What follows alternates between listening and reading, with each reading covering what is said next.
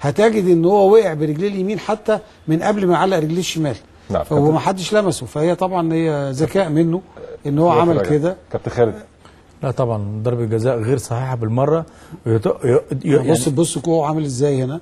هي فاول لا هو. فاول فاول عليه فاول عليه صالح عليه. آه، محمد محمد عادل. عادل محمد عادل. طبعا ي- ي- ي- يعني تحسب على الحكم وتحسب على مساعد الحكم لأنه قريب من لأنه هو قريب من شيكابالا دي نقطة النقطه الثانية الحكم بامانه شديده أفرط في الانذارات على حساب المقاولين يعني أيد لعيبة المقاولين شوية وده كان خطأ كان في فاول في نص ملعب نادي الزمالك كان يستحق عليه انذار ولم يتم إعطاء انذار لأحمد توفيق فأنا في اعتقاد الحكم متحامل نسبيا وإحنا ما بنتكلمش عن التحكيم في أوقات كتيرة جدا متحامل نسبيا على المقاولين وضربة جزاء غير صحيحة بالمرة وبرده دي من أنا في رأيي من غرائب كرة القدم بالنسبة للحكم أو مساعد الحكم.